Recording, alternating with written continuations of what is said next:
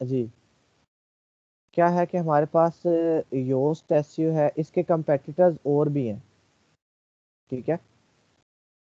इसके कंपेटिटर जो है ना, वो और भी हैं ऑल इन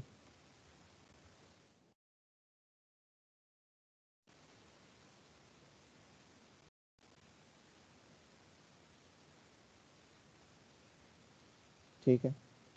कुछ और भी इसके कंपेटिटर्स हैं योस्ट भी है। अब आपको कोई भी प्लगइन इंटीग्रेट करना आ गया, बस उसकी सेटिंग्स वगैरह जो है ना, वो हर प्लगइन की दूसरे से मुख्तलिफ़ होती हैं। क्यों? क्योंकि हर प्लगइन की जो फंक्शनैलिटी है, वो दूसरे से अलग अलग रहती है। ठीक है?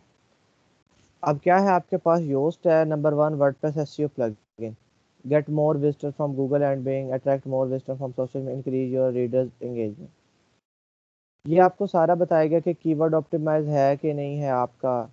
Google your page is about index indexing की इंफॉर्मेशन देगा रीडेबिलिटी चेक करेगा full control of your breadcrumbs no duplicate content you यानी कि आपका सारा कुछ चेक करके बताएगा।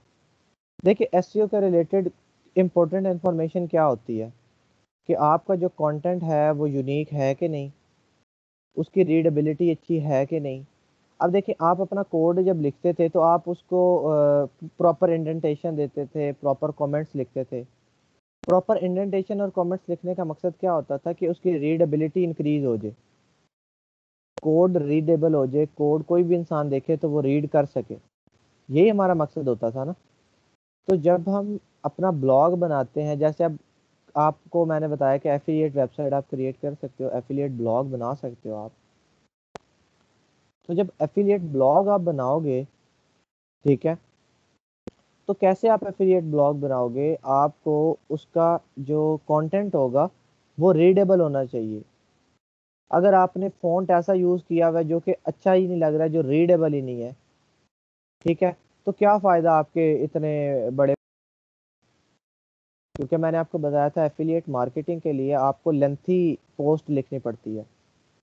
कम से कम thirty five hundred to four thousand words की जो आपकी पोस्ट है ना, वो एफिलिएट के लिए आप लिखते हो। और एफिलिएट के लिए लिखने के लिए बेस्ट ऑप्शन आपको मैंने बताया था कि रिव्यू होता है। रिव्यू क्या मतलब? कि आप कोई प्रोडक्ट उठाओ और उसका रिव्यू लिख दो। जैसे मैं आपको दिखाता हूँ अमेजोन डॉट कॉम अब आप एफिलिएट वेबसाइट खोलना चाहते हो तो आप क्या करते हो? जैसे कि कोई भी मैं प्रोडक्ट ओपन कर लेता हूँ। ये माउस ठीक है। Logitech G two thirty Logitech इसका ब्रांड है इसकी कंपनी है और G two thirty पेरोड R wired gaming mouse gaming mouse है। अब आप क्या करते हो इसका रिव्यू लिखते हो। आप कहते हो कि यार मैंने ये यूज़ किया था आ, ये लॉजिटेक वालों का माउस ये काफ़ी स्मूथ है इसके काफ़ी इसकी फील अच्छी है इसकी जो लुक है वो अच्छी है गेमिंग के लिए। और रन टाइम पे चीज़ों को बहुत अच्छे से इसका यानी कि रिफ्रेश रेट अच्छा है, वगैरह वगैरह। ठीक है? अब आप क्या कर देते हो, ये सारे इसके सेंसर गेम्स ये वो, जो भी इसकी डिस्क्रिप्शन है ना, आप इसे देख के एक रिव्यू लिख लेते हो कि मैंने ये यूज़ किया, या मैं आपको बता देता हूँ कि इसके क्या क्या फ़ायदे हो सकते हैं। ठीक है? आपने इसकी वीडियोस वगैरह देखी, आपने देखा कि क्या क्या फ़ायदे हैं wired gaming mouse play faster क्या आपने कहा ये बहुत फास्टर है more accurately than even before with gaming great performance आपने सारा कुछ एक दफ़ा रीड आउट किया अच्छे से। ठीक है? आपने कहा एडवांस बटन इसके ये, जो भी इसकी फीचर्स वगैरह थे, आपने देखा। राइट क्लिक कैसा है? लेफ़्ट क्लिक कैसा है? ये वैसा है, वो वैसा है। सारा कुछ आपने इसका ना, सारी कुछ देख के ना, और आपने ना लोगों को बता दिया। ठीक है? आपने लोगों को क्या कर दिया इसके बारे में बताया। अब ये लॉजिटेक का था, आप इसके साथ साथ किसी और ब्रांड का भी पकड़ लेते हो। जैसे ये रेजर वालों का है। अब रेजर वालों का, देखिए ये लॉजिटेक वालों का, ये स्टील सीरीज़ वालों का है। अच्छा। पोस्ट बनाई उसमें आपने, इसके भी फ़ायदे लिख लिए। लॉजिटेक वालों के भी रेजर वालों के भी फ़ायदे लिख लिए। और ये जो स्टील सीरीज़ वालों का है, इसके भी आपने फ़ायदे लिख लिए। तीन अलग अलग कंपनीज़ है ना। इसी तरह आपने ये फ्लोडियो उठा लिया। अलग अलग ब्रांड है। ठीक है? अलग अलग क्या है ब्रांड है आपके पास?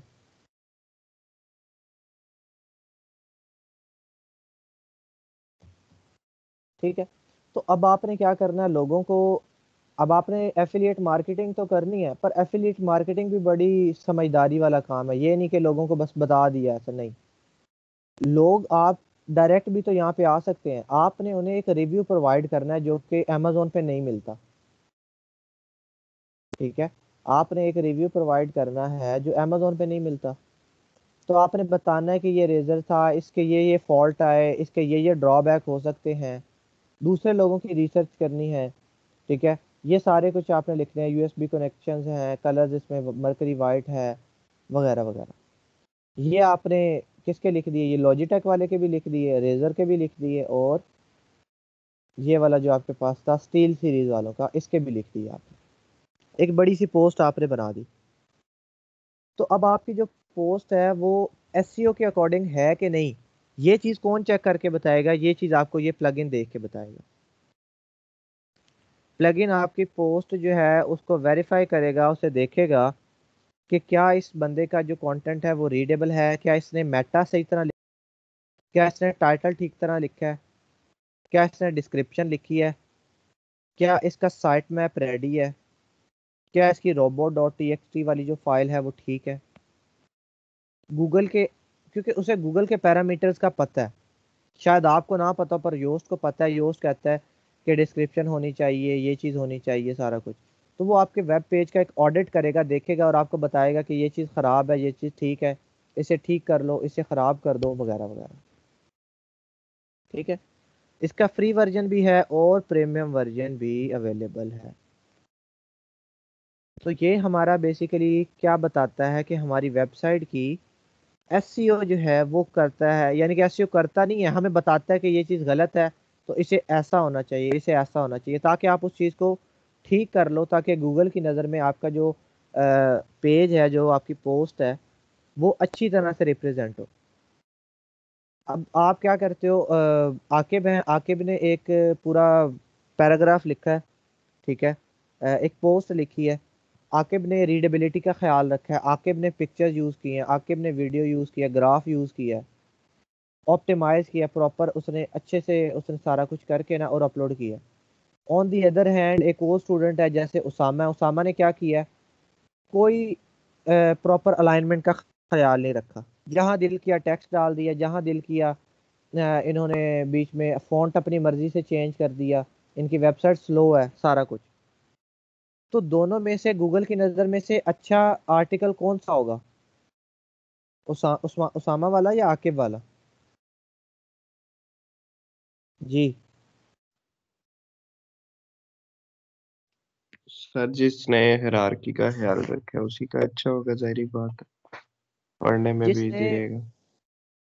बिल्कुल जिसने रीडेबिलिटी का ख्याल रखा है जिसने ऑप्टिमाइजेशन का ख्याल रखा है और उसके अलावा जिसने प्रॉपर उसकी इंडेंटेशन की है सारा कुछ तो उसका आर्टिकल गूगल को अच्छा लगेगा। ये इसी तरह से है जैसे हम जब बोर्ड वगैरह के हमारे एग्ज़ाम्स होते थे तो हमें बड़ा एम्फोसाइज किया जाता था कि आपकी जो प्रेजेंटेशन है ना वो बड़ी यूनिक होनी चाहिए। होता है ना ऐसे मैट्रिक के जब आप देते हो इंटर के देते हो एफएससी के देते हो तो उस टाइम पे आपको बड़ा एम्फोसाइज किया जाता है कि आपका जो प्रेजेंटेशन है ना पेपर की, वो बड़ी अच्छी होनी चाहिए। क्योंकि इतने ज़्यादा पेपर्स होंगे, उनमें से आपका पेपर कैसे यूनिकली आइडेंटिफाई हो, कैसे यूनिक लगे, क्योंकि वो आपने अच्छे से लिखा हो हेडिंग प्रॉपर दी हुई हो, वगैरह वगैरह।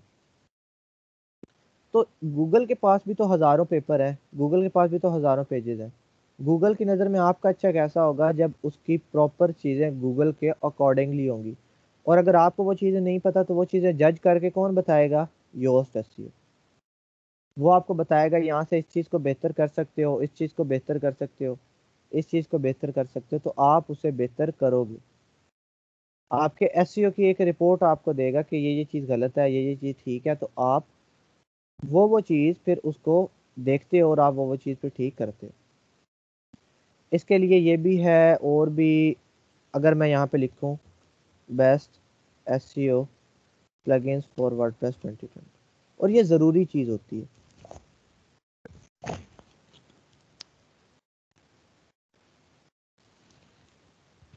ठीक है?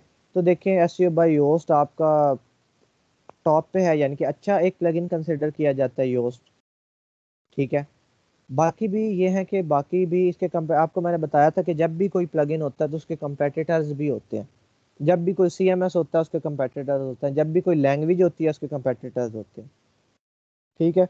इस दुनिया का निज़ाम ही इसी तरह से है कि जब भी आप कोई चीज़ आपकी मौजूद होती है तो आपके उसके मुकाबले में लोग लाजमी होते हैं। जैसे अगर आप एफिलिएट वेबसाइट बनाओगे तो आपके मुकाबले में कोई ना कोई एफिलिएट वेबसाइट मौजूद होगी, जो कि आप भी अगर माउस का रिव्यू लिख रहे हो तो वो भी माउस का रिव्यू लिख रही है। ठीक है? तो आपने फिर बता, अब देखिए, जैसे ये रिव्यू है, review updated for 2020 Yoast SEO SEO framework.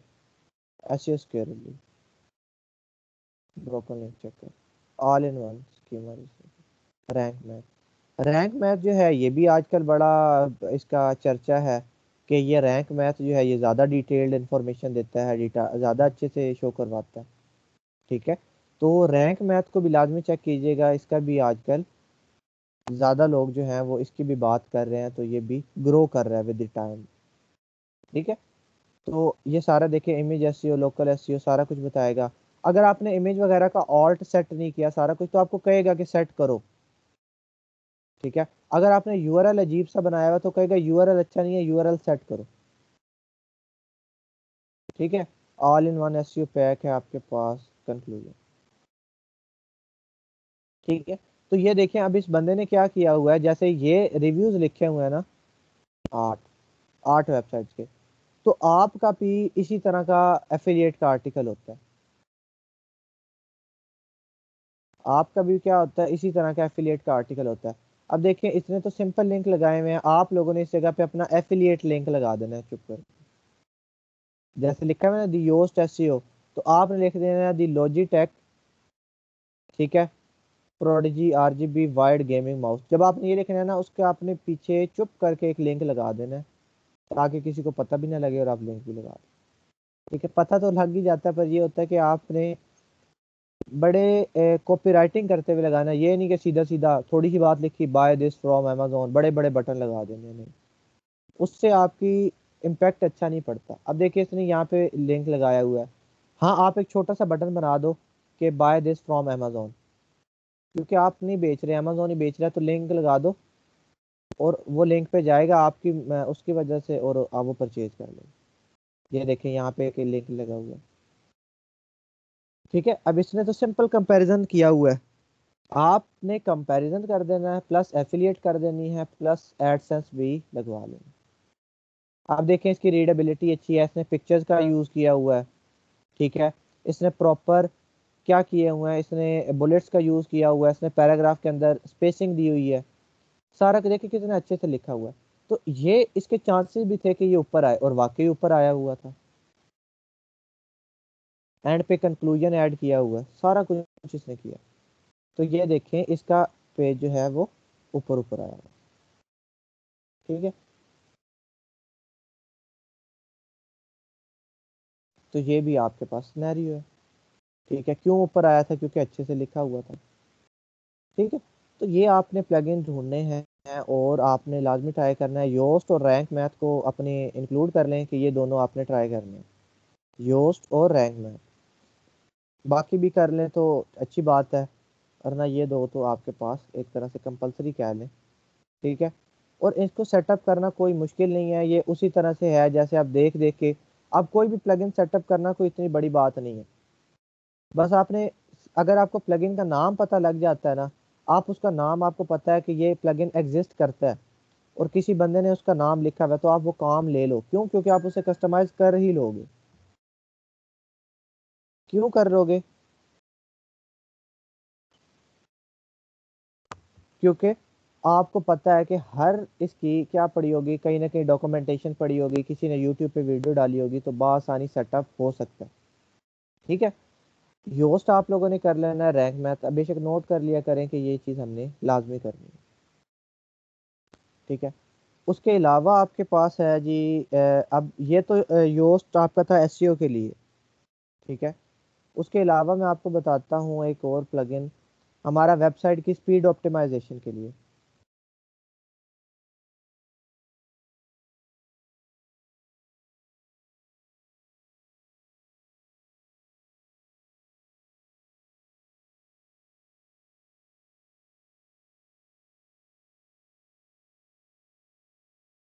अब ये क्या है डब्ल्यू पी रॉकेट अब देखें ब्लैक फ्राइडे आपको कहा था, हर जगह सेल हर बंदा लगा देता है तो ये भी सेल ही चल रही है। पर हमने ये सेल में नहीं लेना, हमने क्या लेना है? हमने फ्री में ले लेना ठीक है? अच्छा अब ये क्या है कि why do our user love just a killer yet a fan of W three total cache W three rocket is beyond comparison and अब देखिए, इसका कंपेटिटर कौन है डब्ल्यू थ्री टोटल कैश ये एक अलग प्लगइन है। ये भी आपको आना चाहिए, ये भी काफ़ी पॉपुलर प्लगइन है। ठीक है? और उसके अलावा आपके पास होता है एक ऑटो ऑप्टिमाइज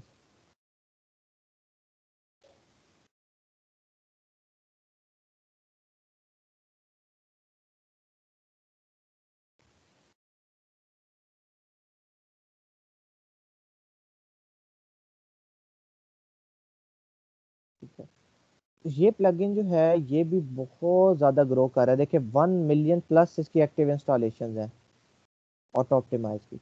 और ये टोटली फ्री है ऑटो ऑप्टिमाइज और ये जो है ना, ये भी आपकी वेबसाइट को काफ़ी ज़्यादा ऑप्टिमाइज कर देता है।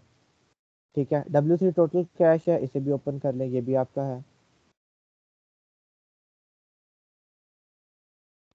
इम्प्रूव्ड एस वगैरह वगैरह। क्योंकि आपको पता है स्पीड ऑप्टिमाइजेशन आपका मेजर हिस्सा है कि आपकी परफॉर्मेंस अच्छी हो।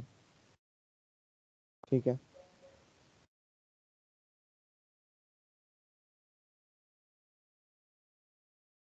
वही बातें की हुई इम्प्रूव्ड अच्छी होगी तो आपका ten X fast page load करेगा। Transparent excuse me sir ji. Sir कल मैं ना सर्च आउट कर रहा था तो एक वेबसाइट मिली है जहाँ से लाइसेंस्ड हर चीज़ का लेटेस्ट वर्जन मिल जाता है। मतलब कि वो प्लग इन हो थीम हो। कल मैंने वो स्लाइडर रेवोल्यूशन का किया है ना वहाँ से। तो सर वो जो है उसमें उसके सारे टेम्पलेट्स भी हैं और एड ऑन्स भी हैं। मतलब कि जैसे नल्ट जैसे होती हैं नहीं ना खुलती चीज़ें कुछ चीज़ें नहीं चलती। उसमें सब कुछ है। तो वो कहते हैं तो मैं शेयर कर देता हूँ सबके साथ या ना करूँ? कर दें कोई बात नहीं गरीबों के साथ कर फ़ायदा हो जाए ओके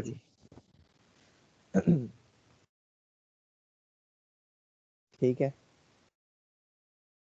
अच्छा अब देखें क्या हो गया कि आपके पास एक तो डब्ल्यू पी रॉकेट है एक डब्ल्यू थ्री टोटल कैश है और ऑटो ऑप्टिमाइज ये सारे आप यूज़ कर सकते हो? ठीक है, अब डब्ल्यू रॉकेट जो है वो पेड है, लोग यूज़ करते हैं। आपको फ्री में मिल जाता है बसानी ठीक है? क्या है कि make WordPress load fast in a few clicks कि क्या होगा कि सबसे ज़्यादा जल्दी ये आपके पास पेज को कैशिंग करेगा as an ultra fast load time essential for approving search engine वगैरह वगैरह। ठीक है? आपको क्या करेगा? इमेजेस को थोड़ा सा श्रिंक करेगा डेवलपर फ्रेंडली वगैरह वगैरह, बड़े फ़ायदे हैं इसके। देखिए इसके अंदर क्या होता है कि आपकी कोई भी वेबसाइट को कौन से ऐसे फैक्टर्स होते हैं जिनकी वजह से वेबसाइट स्लो होती है? क्या फैक्टर्स होते हैं? देखिए अगर आपके वेबसाइट के अंदर जो फजूल की स्पेसिंग आपने दी हुई है ना कोड में ठीक है? कोड की स्पेसिंग दी हुई है तो वो भी आपकी कहीं ना कहीं स्पीड पर इफ़ेक्ट पड़ती करती है। इससे क्या मुराद है? जैसे कि आप देखें अगर आ, हमारे पास एक होती है कंप्रेस्ड तरह की फ़ाइल कंप्रेस्ड कोड होता है और दूसरा हमारे पास होता है सिंपल अब आपके पास जैसे ये कोड है, आपने फिर एक लाइन छोड़ी, फिर स्पेसेस दी, फिर एक कोड लिखा, फिर दिया। तो देखिए, उसने तो लाइन बाय लाइन रीड करना ही करना है ना। ठीक है? लाइन बाय लाइन जब कोड एग्जीक्यूट होता है तो उसको फिर थोड़ा सा टाइम लग जाता है स्पेसिस की वजह से। तो आपका जो पेज है, वो खुल के भी देर से आता है। जब रीड लेट होगा रीड लेट होगा तो ओपन भी लेट हो गया ऑब्वियस ही बात है। ठीक है? आपके एचटीएमएल को ये कोड को ऑप्टिमाइज करता है, आपके जावास्क्रिप्ट के कोड को ऑप्टिमाइज करता है, सारे के कोड को ऑप्टिमाइज करता है। आप लोगों ने कोड इतना भी ऑप्टिमाइज नहीं कर देना कि आपकी फाइल्स ब्रोक हो जाएँ। किस तरह से? यानी कि अगर मैंने सपोज़ ये मेरा एक पेज था। सिंपल प्लगइन को एक्टिवेट करना है और इसे ऑप्शन टिक करके ना हमने ओके कर देना होता है। ये खुद ही उसे श्रिंक कर देता है, खुद ही सारा कुछ कर देता है, हमने मैनुअली नहीं करना होता। ठीक है? मैनुअली नहीं करना होता। ठीक है?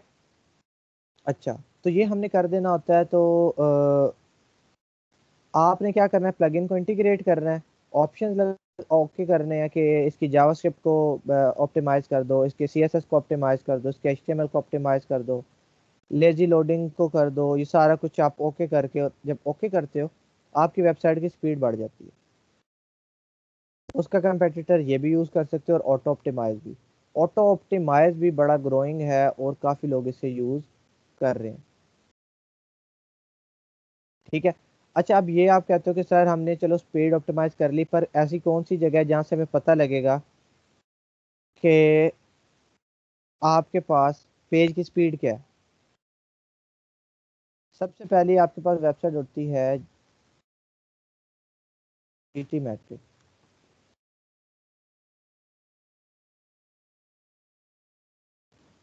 इधर आप किसी भी वेबसाइट का यूआरएल डाल के ना उसकी स्पीड ऑप्टिमाइज चेक कर सकते हो कि उसकी वेबसाइट की स्पीड कैसी है।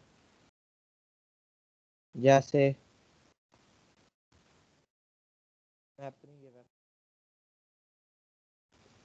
मुझे बता देगा कि इसकी स्पीड कैसी है।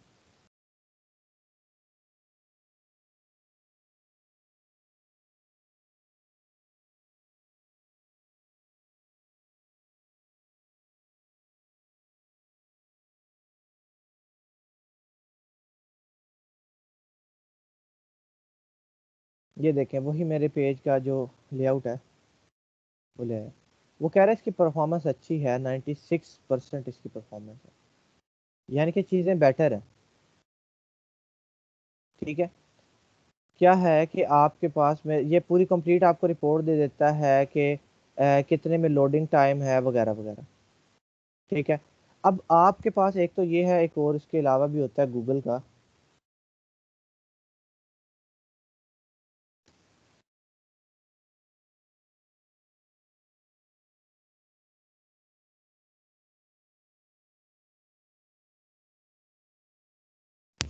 अच्छा इस पे, ये जो है ना, ये गूगल का, इस पे थोड़ा सा रिज़ल्ट लेना ना मुश्किल होता है। देखिए, वहाँ पे रिज़ल्ट कुछ और आएँगे, यहाँ पे हो सकता है कुछ और है। ठीक है?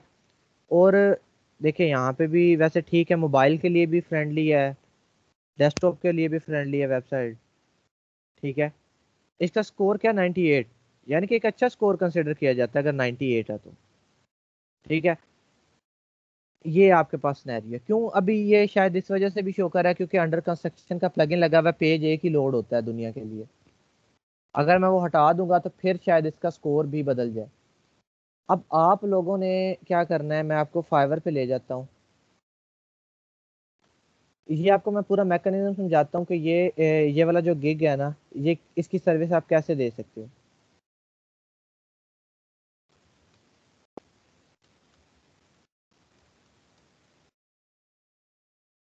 ठीक है? स्पीड ऑप्टिमाइजेशन है ना? देखें वर्डप्रेस स्पीड देखें, कहीं ना कहीं ये जी टी मैट्रिक्स का, ये देखें डब्ल्यू पी रॉकेट तो डब्ल्यू पी रॉकेट क्यों इन्होंने लगाया हुआ? क्योंकि वो स्पीड ऑप्टिमाइजेशन का एक प्लगइन है।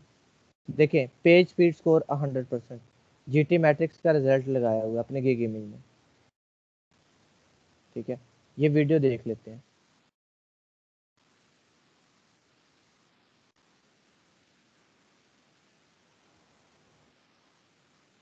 सर जी। पीछे गाने लगाए हैं। जी जी। सर अगर ये प्लगइन इस्तेमाल करेंगे तो सर फिर वो क्या करते हैं हंड्रेड परसेंट पे स्पीड चली जाएगी। नहीं हंड्रेड परसेंट पे तो नहीं जाती।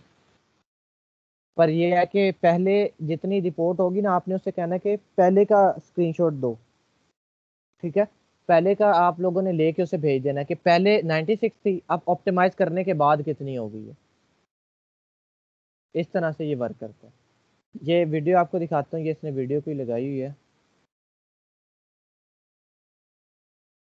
एक मिनट। ये देखिए उसी तरह से जैसे अभी मैंने टेस्ट किया वही तरीका ऐसे टेस्ट करके दिखा रहा है कि स्पीड कितनी हो गई है। पहले कितनी थी या बाद में कितनी थी सारा दिखाता है एक मिनट देखते हैं। मोबाइल पे 96 है। मतलब कि सर हम इस पे भी गिग बनाए। बिल्कुल गिग बनाए सिर्फ़ ऑप्टिमाइजेशन की बस। सर ये जिन्होंने कॉमास डाले होते हैं आपने तो कहा था टाइटल में कॉमा नहीं डालना है लिंक खराब हो जाता है। तो सर इससे कोई फ़र्क खास पड़ता है या नहीं? देखिए बिल्कुल पड़ता है। आपका जो यूआरएल है ना वो एसईओ फ्रेंडली होना चाहिए। और मैं तो इस हक में हूँ कि आप टाइटल पहले इतना सोच समझ के लिखो कि आपका वो सेम रहे। पर एक दफ़ा जब गिग रैंक हो जाता है ना किसी भी रीज़न की वजह से फिर वो बाद में ये चीज़ें इफ़ेक्ट नहीं करती मैंने आपको बताया था। ठीक है? अगर गिग पे ऑर्डर आने लग गए हैं तो फिर कोमा डाला हो क्या डाला हो फ़र्क नहीं पड़ता क्योंकि आप फाइबर को ऑर्डर दे रहे हो फाइबर को रेवेन्यू जनरेट करके दे रहे हो लोग भी आ रहे हैं लोग भी खुशी खुशी जा रहे हैं तो फिर तो फिर फाइबर आपका नहीं करता ठीक है? सर जी अब गिग्स क्यों नहीं मिल रही? मतलब कि ना न्यू अराइवल में मिल रही है ना इधर क्या वजह हो सकती है? अब तो न्यू अराइवल से पुरानी हो गई ना आपकी न्यू थोड़ी रही है अब तो इतनी पुरानी हो गई तीन चार दिन हो गए। दस दिन हो गए सर। दस दिन हो गए, अब कहाँ से मिलेगी? न्यूएस्ट अराइवल तो उसी टाइम रहता है। ठीक है? अब इसने एक, आपने क्या करना है, ये गिग का मैकेनिज्म कैसे चलता है? ये सिर्फ़ प्लग इन इंटीग्रेट करना है और आपको तीन ऑप्शन बता दिए प्लग के। और आपके पास इसका जो ऑर्डर है, बीस डॉलर पच्चीस डॉलर तीस डॉलर इतने का होता है, पाँच दस वाली गेम नहीं होती, उससे बड़ी गेम होती है। क्या करना होता है कि जैसे ही आपके पास क्लाइंट आया क्लाइंट आपको अपनी वेबसाइट देगा और आपको स्कोर बताएगा। वो कहेगा, मेरा ये जी टी मैट्रिक का स्कोर 96 है और इसका मेरा है 93 मोबाइल पे 93 है और डेस्कटॉप पे 98 है अब ये तो मेरा वेब पेज तो पहले ही बहुत ऑप्टिमाइज है, ये वाला। ठीक है? उसका स्कोर इतना नहीं होगा, उसका 80 होगा 70 होगा 60 होगा, कुछ भी हो सकता है। वो आपको कहेगा कि मुझे ये थोड़ा सा ना ऑप्टिमाइज कर दो ताकि ये इंक्रीज हो जाए। आप कहते हो, कोई मसला नहीं। वो कहता है, मोबाइल पे मेरा 65 फाइव एम एटी प्लस हो जाए। आप कहो कि अगर मुझे तीस डॉलर दोगे तो एट्टी प्लस तक कर दूँगा, अगर मुझे ज़्यादा दोगे तो ज़्यादा करना पड़ेगा। ठीक है? निगोशिएशन करोगे उससे। आप उसकी वेबसाइट का डैशबोर्ड पकड़ोगे। डैशबोर्ड में आपने डब्ल्यू पी रॉकेट इंस्टॉल कर देना। डब्ल्यू पी रॉकेट इंस्टॉल करके ऑप्टिमाइज कर लेना है या ऑटो ऑप्टिमाइज जो है, ये करके आपने ऑप्टिमाइज कर लेना। ठीक है? ये क्या करता है? Minify and cache script and styles inject CSS in the page head by default by minify करता है। मिनीफाई बेसिकली क्या है कि आपकी वही जो मैंने आपको बताया कि कोड जितना आपका लेंथी है ना, उसे थोड़ा सा मिनीफाई कर देगा पास पास ले आएगा। अच्छा क्योंकि ये रोबोटिक्स कर रहे होते हैं तो हो सकता है आपका कोई कोड डैमेज भी हो जाए।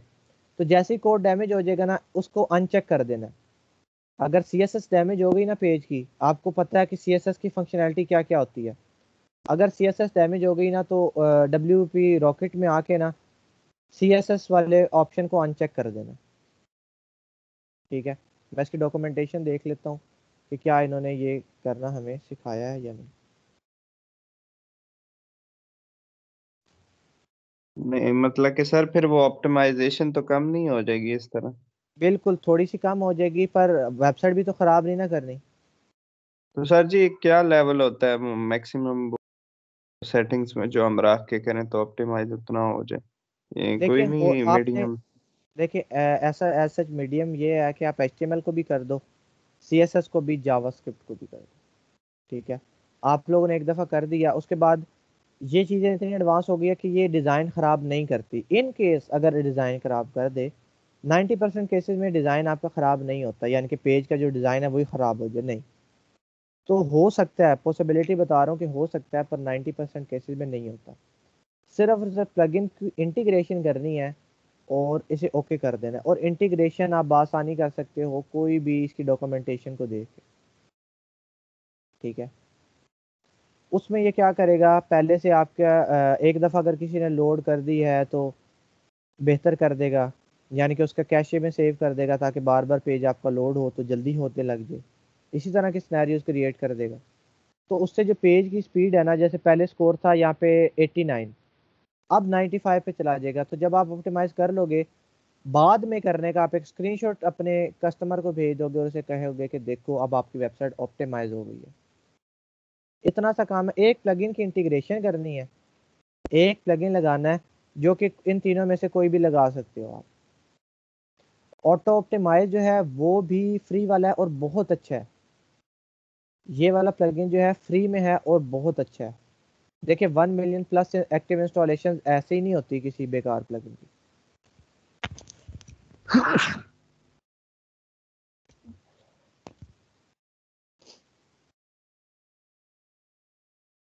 ठीक है?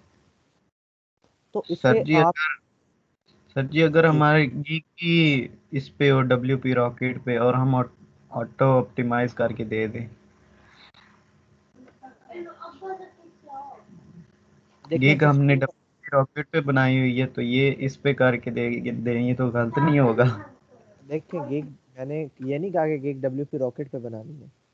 गिग आपने बनानी है स्पीड ऑप्टिमाइजेशन पे। स्पीड ऑप्टिमाइज करने के लिए आप डब्ल्यू पी रॉकेट यूज़ करो ऑटो ऑप्टिमाइज यूज़ करो आप जो भी यूज़ करो वो आपका मसला हाँ। आप उसे कह ज़रूर सकते हो कि देखिए 45 थी उसने ऑप्टिमाइज करने के बाद कितनी कर दी? 85 90 ठीक है? और यहाँ पे देखिए, पाँच डॉलर वाला गिग नहीं नज़र आएगा आपको। पाँच डॉलर वाले कम है लोग।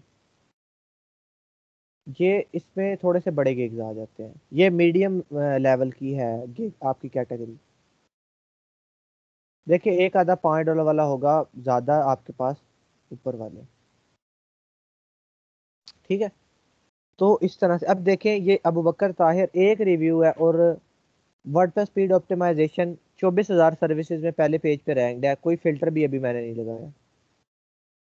ये देखिए ए बी ऑप्टिमाइजेशन अब इस बंदे ने तो सिर्फ़ टोटल इतनी माइक्रो निश में चला गया, उसका नाम ही ए बी ऑप्टिमाइजेशन है। ओपन करते हैं। देखिए एक ही है। सर योस्ट एसईओ के नाम से जो है ना कीवर्ड वो सर्च करें, उस पे काम में गिग बिल्कुल, योस्ट एस की सर्विस आप दे सकते हैं कि मैं आपको, ये जो मैंने आपको बताया था कि जो भी हम करते जाएँगे ना दिन में काम, वो एक एक सर्विस आपकी बनती जाएगी। योस्ट एस की आप दे सकते हो। स्पीड ऑप्टिमाइजेशन की दे सकते हो। बस उसका पैरामीटर क्या है चेक करने का, ये ये स्कोर जिसका ये स्कोर ज़्यादा होगा ग्रेड ज़्यादा होगा दैट्स इट दो पैरामीटर्स होते हैं। कुछ लोग कहते हैं कि हमें पेज इंसाइट्स का दिखाओ गूगल पेज इंसाइट्स का। कुछ लोग कहते हैं हमें जीटी मैट्रिक्स का दिखाओ। जीटी मैट्रिक्स भी एक ग्लोबली अच्छा माना जाता है और ये भी। ठीक है? अब इस सर जी हम तो वो इसके अलावा वो गिग भी बना सकते हैं ना माइग्रेशन वाली और बैकअप वाली। बिल्कुल बना सकते हैं। अभी तक जितनी चीज़ें हमने पढ़ ली हैं हम हर चीज़ पे गिग बना सकते हैं देखिए मेल चिम पढ़ा उस पर बना सकते हैं स्लाइडर रेवोल्यूशन पढ़ा उस पर बना सकते हैं स्पीड ऑप्टिमाइजेशन पढ़ी उस पर बना सकते हैं योस्ट एस से रिलेटेड पढ़ा तो एस से रिलेटेड बना सकते हैं माइग्रेशन का बना सकते हैं डेमो इंपोर्ट का बना सकते हैं थीम इंस्टॉलेशन का बना सकते हैं ब्लॉग सेटअप का बना सकते हैं एलिमेंट और का बना सकते हैं डीवी का बना सकते हैं ठीक है कितनी कैटेगरीज हैं? नौ तो मैंने आपको, दस तो आपको अपनी उंगलियों पे गिनवा दिए ठीक है? वो आपने देख के बनाना है कि किस पे ऑर्डर फ्लो भी ठीक है और रश भी कम है। ठीक है? तो ये आपकी, ये रिपोर्ट आपने देनी है बिफोर की भी दे देनी है और आफ्टर भी बिफोर की उसी टाइम दे दो कि अभी ये है, मैं काम शुरू करने लगा आफ्टर की भी दे दो कि अब ये हो गया, जाके आप खुद भी चेक कर सकते ठीक है? तो आप इस रिपोर्ट को क्या कर सकते हो? शेयर भी कर सकते हो सर देख भी सकते हो। जी। ए, कल ना मैं बाय रिक्वेस्ट देख रहा था उस पर इसी तरह का ना एक सिनेरियो था उसमें ये था कि वो बायर कहता है कि मैं मुझे भी थोड़े अता पता है ना इस चीज़ के बारे में कि कैसे ऑप्टिमाइज करते हैं प्लगइन के थ्रू तो कह रहा था कि प्लगइन के थ्रू नहीं ऑप्टिमाइज हुई। तो जो प्लगइन के साथ करना चाह रहे हैं ना वो इस दूर ही रहे। सर वो क्या चीज़ थी? मतलब कि कोडिंग के थ्रू भी हम कर सकते हैं ऑप्टिमाइज बिल्कुल कर सकते हैं बिल्कुल कर सकते हैं। उस पे हम हमें क्या करना होता है देखिए जैसे आपका ये मिनिफाई कर रहा है ना चीज़ों को। मिनिफिकेशन क्या है कि मैं आपको यहाँ से दिखा देता हूँ।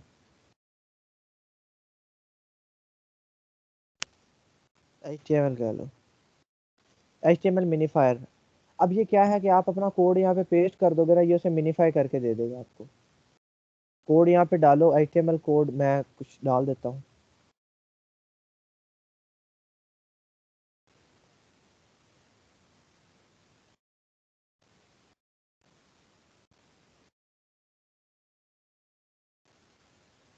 तो हमें कोई बड़ा सा कोड मिल जाता है ना।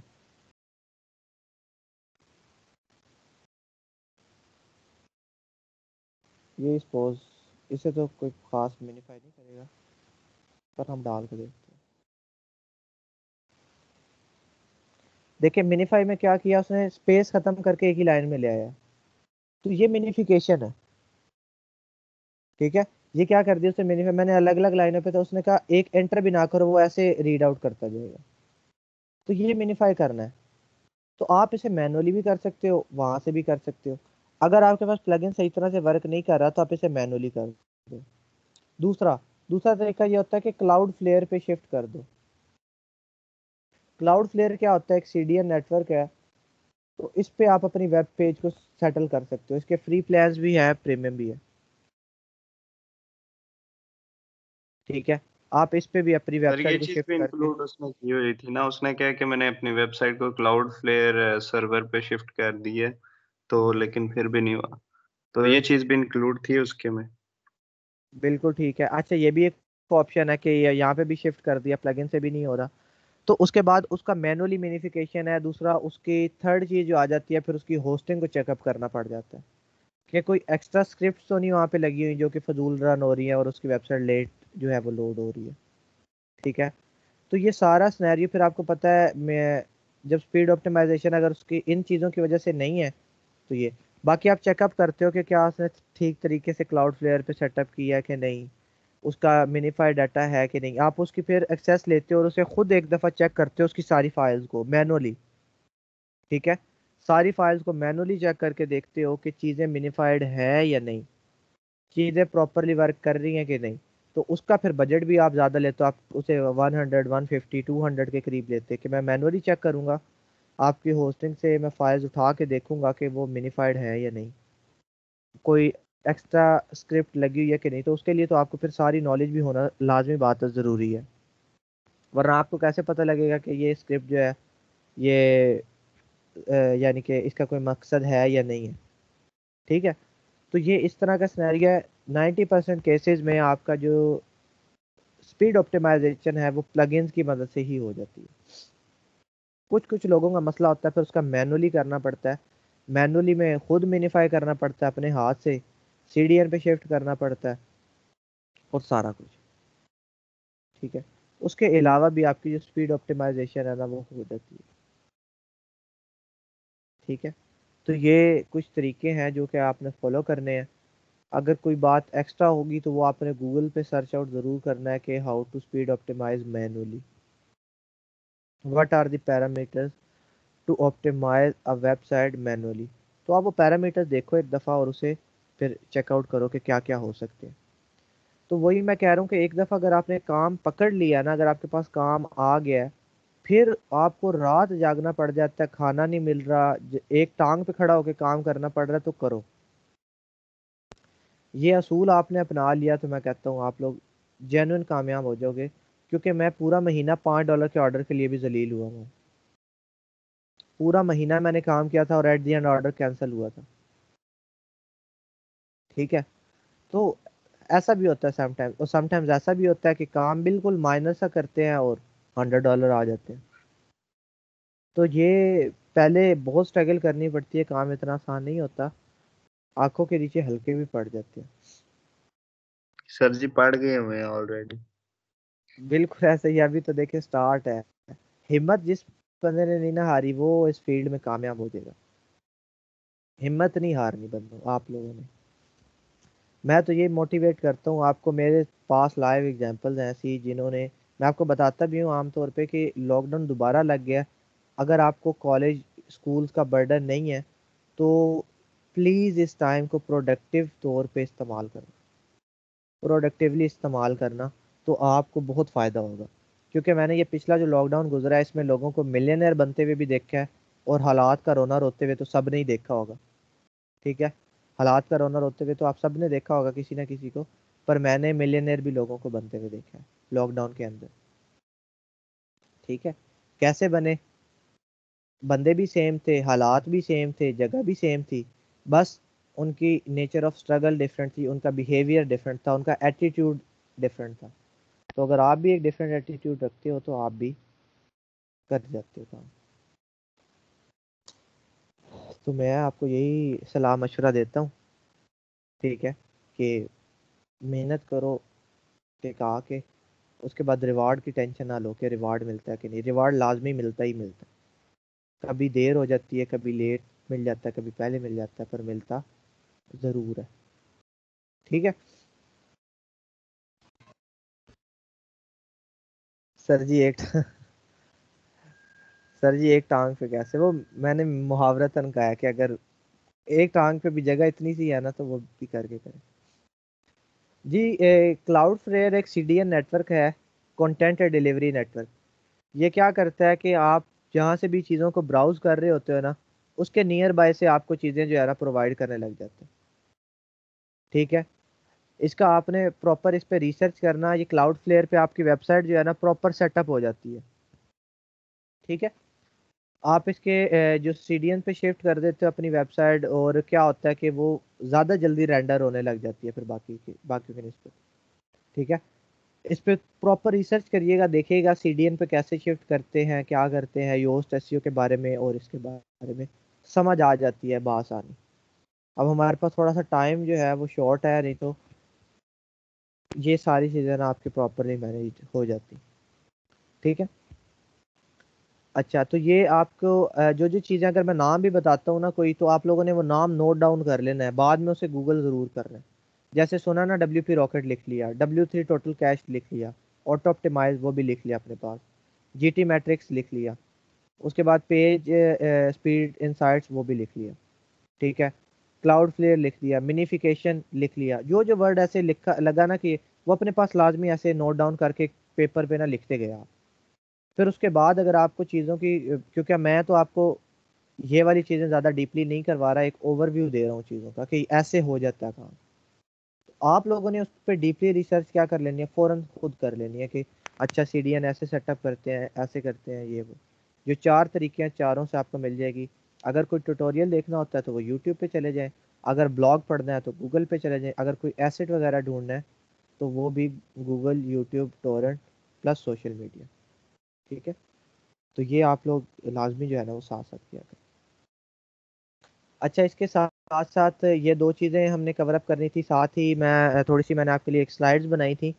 अब हमने साथ साथ पी जो है ना वो भी स्टार्ट करनी है। उसके साथ साथ कोई और प्लगइन जैसे आया तो वो मैं थोड़े से टाइम में आपको बता दूँगा, कोई पेमेंट मेथड्स हैं, वो भी मैं टाइम बाय टाइम आपको करवाऊँगा कि पाकिस्तान में कौन कौन से पेमेंट मेथड चलते हैं। आपको कौन कौन से पेमेंट मेथड बनाने चाहिए, जो आपके पास ज़रूरी हो। उसका क्या प्रोसीजर है, क्या फ़ी वगैरह है, वो भी हम करेंगे टाइम बाय टाइम पर अब मैं, क्योंकि टाइम थोड़ा सा कम है तो मैं साथ ही जो है ना वो पीएचपी पे मूव करने लगा हूँ, ताकि हमारी पीएचपी रह ना जाए पीएचपी भी हम लाजमी करें। ठीक है? क्योंकि उसमें भी एडवांसमेंट के चांसेस बहुत ज़्यादा होते हैं और एक बड़ी, क्या कहते हैं उसे ग्लोबल एक लैंग्वेज है। ठीक है?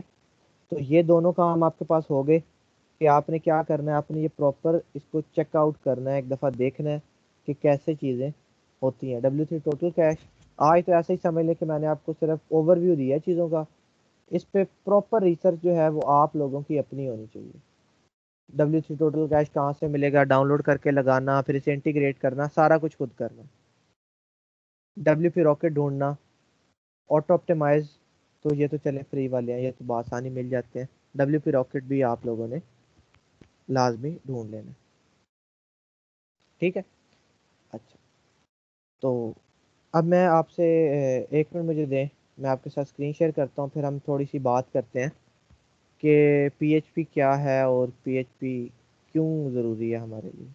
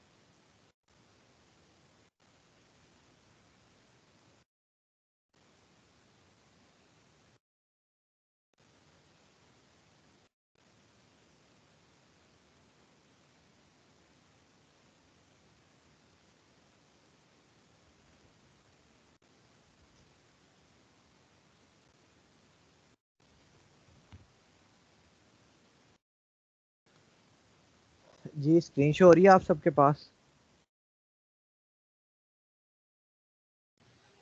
यस सर हो रही है स्क्रीन शॉट सर हो रही है। जी ठीक है। अच्छा अब आपके पास पीएचपी क्या चीज़ है? ठीक है।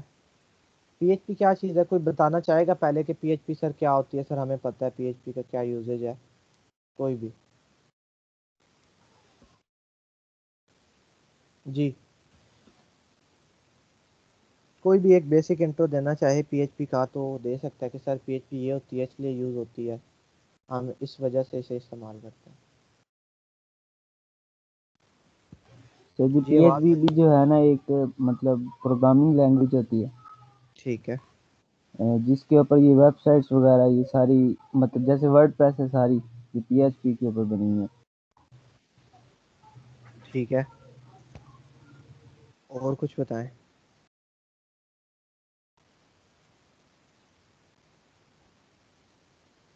जी, जेबा सुंदर साहब बताएँ।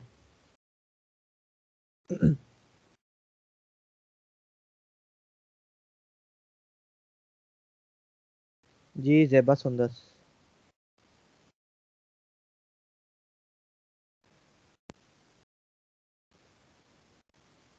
जी हमाद जी सर ये पीएचपी जो है स्क्रिप्टिंग लैंग्वेज है। हाइपर टेक्स्ट मेरे ख्याल से प्री प्रोसेसर है। कुछ इस तरह का ही है इसका नाम। और ये सर इसकी HTML में ही होती है इंटीग्रेशन और इसको क्या कह सकते हैं कि ये डेटाबेसेस और इन चीज़ों के लिए मुफीद है। बिल्कुल ठीक है। सर ये server side server side scripting scripting language है और हाइपरटेक्स्ट प्री प्रोसेसर जी बिल्कुल ठीक बताया तो ये आपने। बेसिकली बैकएंड पे जो वर्क होता है ना सर्वर साइड पे उसके लिए यूज़ होती है। बिल्कुल सही बताया आपने जेबा अ, आकिब आपने भी ठीक बताया बैकएंड की। सबने ठीक बताया। पीएचपी क्या है? पीएचपी एक प्रोग्रामिंग लैंग्वेज है। जो क्या क्या है, एक स्क्रिप्टिंग लैंग्वेज भी जिसे हम कहते हैं, जो कि सर्वर साइड पे हम स्क्रिप्टिंग करते हैं इसकी हेल्प से। ठीक है? तो हमारे पास क्या है जी? पीएचपी क्या है? इसका एक्रोनियम है PHP hyper text pre processor ठीक है? तो इसका, यानी कि अगर मैं इसकी एब्रीविएशन लूँ तो क्या है? हाइपर टेक्स्ट प्री प्रोसेसर ठीक है? ये सर्वर साइड स्क्रिप्टिंग लैंग्वेज है और इससे हम क्या करते हैं? डायनेमिक वेब पेजेस जो हैं वो क्रिएट करते हैं। डायनेमिक और स्टैटिक का फ़र्क आपको अब काफ़ी अच्छे अंदाज में पता लग गया कि डायनेमिक कौन सा होता है स्टैटिक कौन सा होता है। तो हमें पता लग गया, अब हमने वर्डप्रेस में भी ये चीज़ देखी है कि पेजेस कैसे डायनेमिक होते थे पोस्टेज और उनके आगे जो एलिमेंट्स लगे होते थे, वो कैसे डायनेमिकली वर्क कर रहे हैं। तो अब हमें ये भी पता है कि वो पीएचपी में बने थे, ठीक है? वर्डप्रेस पीएचपी में बनी है तो हमें पता है कि पीएचपी का पर्पस क्या है, ठीक है? उसके अलावा डायनामिक कंटेंट को मैनेज करती है डेटाबेसेस को है मैनेज करती है। सेशन ट्रैकिंग करती है even build entire e commerce website अब ये क्या चीज़ है? डायनामिक का हमें पता लग गया डेटाबेसेस को मैनेज करना। जैसे हमने पहले भी देखा था कि डेटाबेस को मैनेज करती है डेटाबेस में डाटा रखवाना रिट्रीव करना मॉडिफाई करना अपडेट करना डिलीट करना, वगैरह वगैरह। सेशन ट्रैकिंग भी देखती है कि यूज़र कंट्रोल भी करती है कि कौन से यूज़र को क्या एक्सेस है सेशन उसका कितना है। हमारे पास अक्सर जो सेशन वगैरह लॉस्ट हो जाते हैं, जैसे एक बंदा कोई काम कर रहा है और उसके बाद अक्सर आ जाता है कि आपका सेशन एक्सपायर हो गया, दोबारा लॉग इन करे तो वो भी पीएचपी का काम है। ठीक है? और उसके अलावा हम पूरी ई कॉमर्स वेबसाइट्स भी पीएचपी की मदद से क्रिएट करवा सकते हैं। अभी तो हमने वर्डप्रेस देखी ना कि वर्डप्रेस से बन रही हैं चीज़ें। ठीक है? तो वर्डप्रेस भी बेसिकली डिज़ाइन तो पीएचपी में हुआ है उसके अलावा हम रॉ हालत में भी पीएचपी से ई कॉमर्स साइट बना सकते हैं। अगर हम वर्डप्रेस को बीच में से निकाल भी दें तो फिर भी हम ई कॉमर्स वेबसाइट बना सकते हैं रॉ पीएचपी को यूज़ करते करते। ठीक है? अच्छा और हमें पता है कि पीएचपी की जो स्क्रिप्ट्स हैं, वो सर्वर साइड पे एग्जीक्यूट होती हैं, और उसके बाद हमारे पास जो है वो रिज़ल्ट मिल जाता है। ठीक है? अच्छा अब हमारे पास एक सवाल पैदा हो जाता है कि वाई पीएचपी पीएचपी को हम क्यों यूज़ करें? तो पीएचपी जो है बिल्कुल फ्री है और क्या है? Easy to learn easy to learn से क्या मुराद है कि किसी भी इंसान की आ, कहा जाता है कि अगर कोई भी बिगनर है उसकी पहली जो सर्वर साइड स्क्रिप्टिंग लैंग्वेज होनी चाहिए वो पीएचपी होनी चाहिए क्योंकि आसानी से वो सीख सकते हैं। ठीक है? बसानी आप लोग सीख सकते हो और दूसरा ये फ्री है ओपन सोर्स है। ठीक है? Supports various platforms Windows, Mac OS, Linux etc. ये क्या करती है? डिफरेंट प्लेटफॉर्म्स को सपोर्ट करती है उन पे भी सही तरह से एग्जीक्यूट होते हैं। उसके अलावा कंपेटेबल विद मल्टीपल सर्वर्स अब सर्वर्स कौन कौन से होते हैं? जैसे अब हमारे पास एक जैम्प है तो जैम्प सर्वर है या नहीं? जी। Yes sir server yes sir local yes sir है। लोकल सर देखें अब आप फिर उसी बात वही गलती की आप सबने। मैंने आपको बताया था जैम्प एक पूरा पैकेज है। जैम्प अगर मैं सर्वर कह रहा हूँ तो वो गलत कह रहा हूँ। मैंने आपको ये एक दिन बड़ी डिटेल में ये डिबेट की थी। अब जैम्प के अंदर तो मल्टीपल चीज़ें हैं। उसके अंदर ये जो अपाची है ना ये सर्वर है। जी। ठीक है? तो अपाचे आपके पास सर्वर है जैम तो मल्टीपल चीज़ों को हैंडल कर रहा है। जैम तो एक इस तरह की चीज़ है जिसने सारा कुछ इंटीग्रेट करके एक जगह पे रख दिया।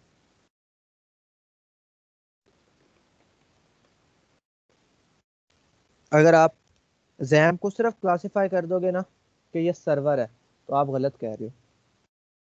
क्यों? क्योंकि सिर्फ़ सर्वर नहीं है जैम जैम तो क्या है कि उसके अंदर मल्टीपल चीज़ें हैं, उसके अंदर सर्वर भी है, उसके अंदर पीएचपी भी इंटीग्रेटेड है, उसके अंदर माई एसक्यूएल की डेटाबेसेस भी हैं तो वो सिर्फ़ सर्वर कैसे हो सकता है? ठीक है? तो जैप आपका पास सिर्फ़ सर्वर नहीं है। जैप आपके पास क्या है? एक कंप्लीट पैकेज हम इसे कह सकते हैं। ठीक है? उसके अंदर हमारे पास अपाचे सर्वर है और आई एक सर्वर होता है, वो भी, और ये पीएचपी जो है, ये अपाचे सर्वर के साथ प्रॉपरली कंपेटेबल है और हम इसी सर्वर पे, यानी कि अपाचे को यूज़ करते करते और माई एसक्यूएल को यूज़ करते करते हम PHP की जो स्क्रिप्ट है ना, वो अपने ही कंप्यूटर पर रन करके देखेंगे कि होती हैं कि नहीं। ठीक है? हम अपने लोकल इन्वायरमेंट में ये सारा कुछ रन करेंगे कि हमारे पास इस इन्वायरमेंट में जो हम अपना क्रिएट करवा रहे हैं तो इसके अंदर ये चीज़ें रन हो जाती हैं कि नहीं? और देखेंगे कि हम रन करवा लेंगे पीएचपी की स्क्रिप्ट को एग्जीक्यूट करवा लेंगे। ठीक है? अच्छा we can manage wide range of database with PHP AG my अच्छा पीएचपी सिर्फ़ माई एसक्यूएल को ही सपोर्ट नहीं करता कि सिर्फ़ डाटाबेस पे माई एसक्यूएल को ही मैनेज कर लिया। नहीं। पी एच पी आपका, इसके अलावा ओरेकल को मारिया डी बी वगैरह, और भी जो आपके पास डाटाबेसेस के हैं यानी कि प्लेटफॉर्म्स हैं, उन सबको मैनेज कर सकते हैं। ठीक है? तो ये इसका वाई को वाई का मतलब है कि पीएचपी क्यों यूज़ करें? तो हमें ये सारे पॉइंट्स मिले कि ये ये पॉइंट्स हैं, इसके फ़ायदे हैं जिसकी वजह से हम पीएचपी को यूज़ करेंगे। फ्री है इजी टू लर्न है वेरियस प्लेटफॉर्म के साथ सपोर्ट करती है कंपेटेबल है मल्टीपल सर्वर्स के साथ। मल्टीपल डाटा बेसिस को क्या कर सकती है? मैनेज कर सकती है। ठीक है? तो ये चीज़ें आप लोगों ने जहन में रखनी है। ये बेसिक्स हैं कि पीएचपी हम इस्तेमाल क्यों करते हैं और क्या इसका फ़ायदा? ठीक है? अच्छा अब how P H P work अब पी एच पी कैसे वर्क करती है? मैं आपको थोड़ा सा यहाँ पे समझाता हूँ। अब देखें, हमने अभी तक दो तरह की चीज़ें देखी हैं। अभी तक हमने दो तरह की चीज़ें देखी हैं, जिनमें कौन कौन सी है?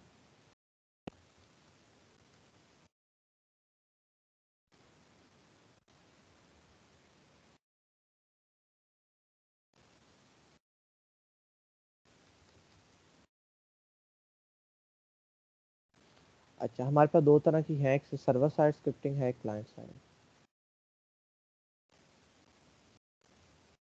इसी तरह की बात की थी ना मुझे आप लोग बताइएगा मैं भूल गया हूँ कि क्लाइंट साइड स्क्रिप्टिंग लैंग्वेज कौन सी होती है? क्लाइंट साइड स्क्रिप्टिंग लैंग्वेज कौन सी लैंग्वेज होती है? सर एचटीएमएल एचटीएमएल और कोई Yes, मेजर बताएँ मुझे। HTML, CSS, JavaScript. ठीक है। अब देखिए जो बेसिक स्क्रिप्टिंग है ना हमारी मेजर वो जावा स्क्रिप्ट है। जावा स्क्रिप्ट आपकी क्लाइंट साइड पे एग्जीक्यूट हो जाती है। अब क्लाइंट साइड और सर्वर साइड क्या होता है? क्लाइंट साइड ये है जो मेरा ये कंप्यूटर आपको पूरा नज़र आ रहा है तो मैं इस टाइम क्लाइंट हूँ। ठीक है? अब क्लाइंट साइड पे ये चीज़ें एग्जीक्यूट हो जाती हैं तो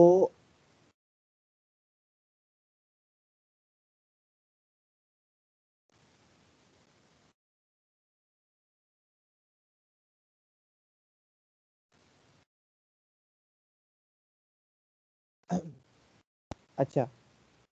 अब मैं क्या कह रहा हूँ कि हमारे पास दो तरह की कौन कौन सी होती हैं? एक होती है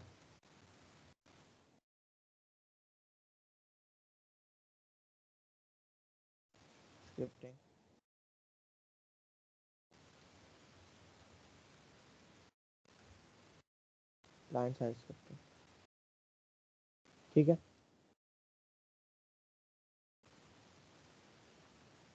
अच्छा अब देखें सर्वर साइड स्क्रिप्टिंग और क्लाइंट साइड की स्क्रिप्टिंग में फ़र्क ये है कि क्लाइंट साइड वाली जो होती है ना, वो क्लाइंट के एंड पे आके ब्राउज़र में एग्जीक्यूट होती है।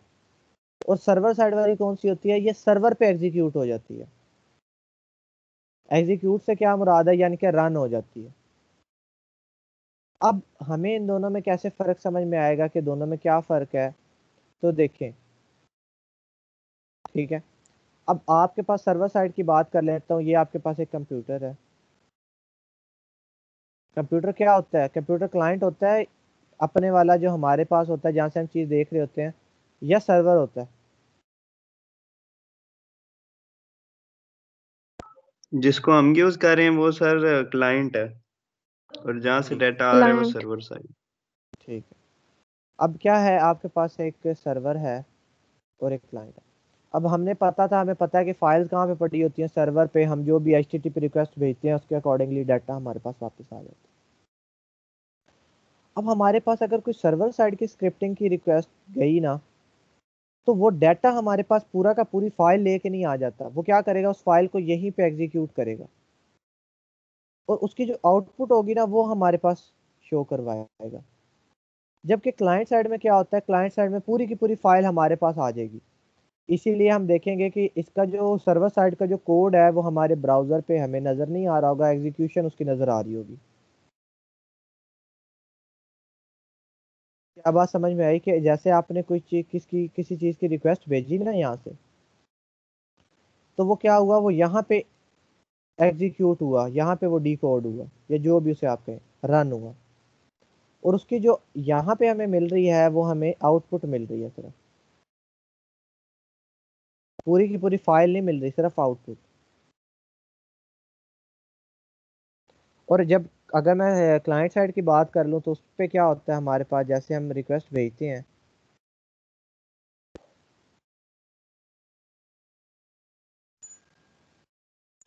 तो हमारे पास वो पूरी की पूरी फ़ाइल आ जाती है, फिर उसे डिकोड कौन करता है? हमारा ब्राउज़र वो यहाँ पे आउटपुट नहीं आती, यहाँ पे हमारे पास पूरी फ़ाइल आ जाती है। फिर क्या होता है, वो डिकोड भी यहाँ पे होती है, फिर हम उससे यहाँ पे भी चेंज कर सकते हैं, देख सकते हैं, जैसे H T M L C S S वगैरह को जी। तो जावा स्क्रिप्ट भी हमारे पास यहाँ पे आ रही है और ये जो है, ये सिर्फ़ आउटपुट भेजता है यहाँ से। ठीक है? तो ये क्या पॉइंट है? यहाँ पे देखे वेब ब्राउज़र है। ब्राउज़र से रिक्वेस्ट जाती है एच रिक्वेस्ट गई।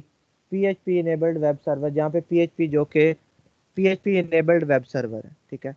Find index dot P H P देखिए, मैंने क्या कहा? मैंने कहा index dot P H P मेरे पास आ जाए।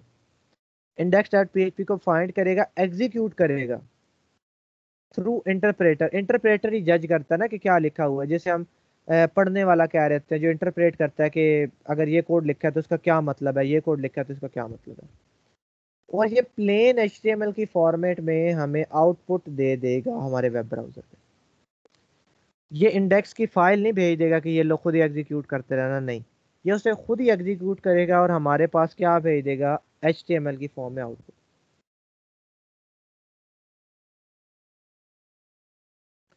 ठीक है? तो ये फ़र्क समझना बड़ा ज़रूरी होता है कि क्लाइंट साइड स्क्रिप्टिंग जैसे जावा स्क्रिप्ट है और पीएचपी इसमें क्या फ़र्क है? कि वो क्लाइंट साइड की स्क्रिप्टिंग है और वो सर्वर साइड की स्क्रिप्टिंग है। ठीक है? तो इस तरह से आपके पास डाटा आ जाएगा। जब आप, मैं आपको कोड की तरफ़ तो शायद आज हम ना आए, कल से हम कोड करना शुरू करेंगे इसका। तो जब हम एग्जीक्यूशन करेंगे तो मैं आपको दिखाऊँगा कि कोड जो है वो नज़र नहीं आ रहा इसका। आउटपुट नज़र आ रही है। ठीक है? तो उससे हमें पता लगेगा कि वाकई ही यहाँ पे डिकोड नहीं हुआ, यहाँ पे एग्जीक्यूट नहीं हुआ, ये कहीं और एग्जीक्यूट हुआ। और कहीं और एग्जीक्यूट होने का मतलब है कि ये सर्वर पे एग्जीक्यूट हो गया। ठीक है? तो इस तरह से इसका मैकेनिज्म जो है वो वर्क कर रहा होता है कि आप अपने ब्राउज़र से रिक्वेस्ट भेजते हो, ये कोई भी रिक्वेस्ट हो जाती है इंडेक्स हो जाए, कोई भी फ़ाइल हो जाए डॉट पी की। आउटपुट में आपको उसका रिज़ल्ट मिल रहा होता है कि जो रिज़ल्ट वो चीज़ जनरेट करके देती है, वो रिज़ल्ट मिल जाता है। ठीक है? क्लाइंट साइड पे भी हमें सामने तो रिज़ल्ट ही नज़र आ रहा होता है, पर डिकोड रिज़ल्ट कहाँ पे हो रहा होता है? हमारा ब्राउज़र उसे इंटरप्रेट कर रहा होता है और वहाँ पे इंटरप्रेटर सर्वर पे ही लगा होता है, वही इंटरप्रेट करके उसे जवाब दे देता है। ठीक है? अगर हम सर्वर की बात करें तो अगर हम सर्वर को एक कंप्यूटर कह लें, जिसके, जो चीज़ों को चला रहा होता है तो हम, ये कहना गलत नहीं होगा। ठीक है? वेब सर्वर भी बेसिकली क्या होते हैं? कंप्यूटर्स ही एक तरह से होते हैं, जो कि चीज़ों को मैनेज कर रहे होते हैं। ठीक है? तो यहाँ पे आपको सर्वर साइड स्क्रिप्टिंग की समझ आ गई है कि सर्वर साइड स्क्रिप्टिंग जो है, वो कैसे होती है। यानी कि उसका मैकेनिज़्म क्या होता है किस मैकेनिज़्म के अकॉर्डिंगली वो चीज़ एग्जीक्यूट हो रही होती है।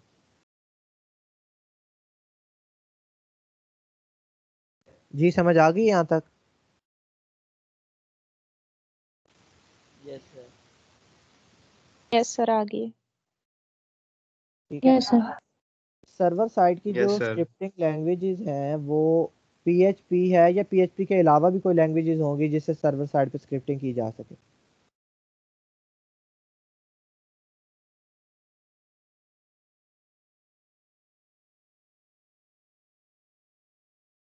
जी।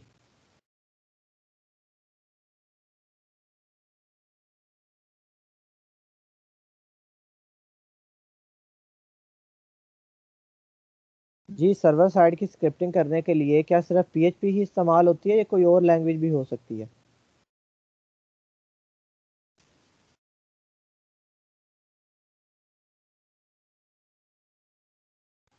सर जी और भी होंगी। ठीक है जी और भी होंगी। कौन कौन सी हो सकती हैं? कोई नाम आपको पता हो मेजर जैसे आजकल वो आई हो सकती है। ये आवाज़ नहीं आ रही फ़िलहाल आपकी। तलहा है या उसामा है सर तलहा आवाज़ नहीं आ रही? जी आ रही थी कट गई थी थोड़ी थोड़ी भी सर पाइथन हो सकती है। ठीक सर है। पाइथन जावास्क्रिप्ट ठीक है जावास्क्रिप्ट उसके अलावा आपके पास डॉट नेट जो है ना ये इसका A S P dot net इसका कंपेटिटर है। इसका फाउंडर कौन है?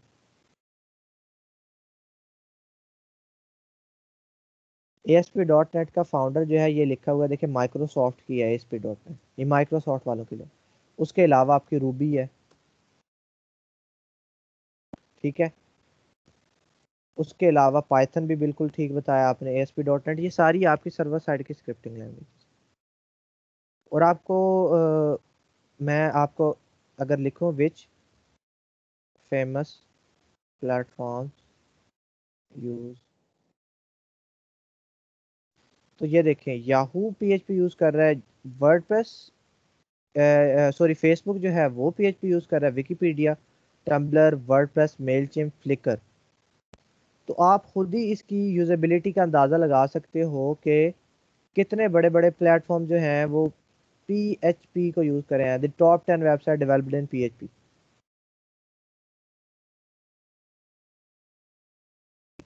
ठीक है?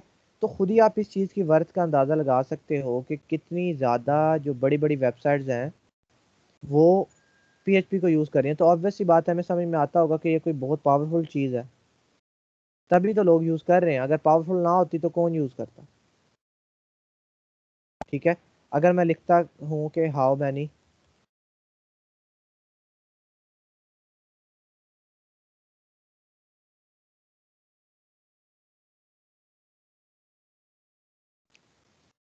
seventy eight point nine percent जो वेबसाइट्स हैं वो इसे यूज़ कर रही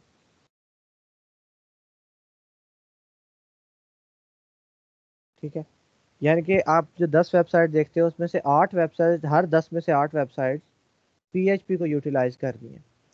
तो और है भी बिगनर फ्रेंडली, ठीक है? आप सीखना भी आसान है। फिर इसमें एडवांसमेंट आती जाती है, फिर इसके आगे आगे फ्रेमवर्क बनते जाते हैं।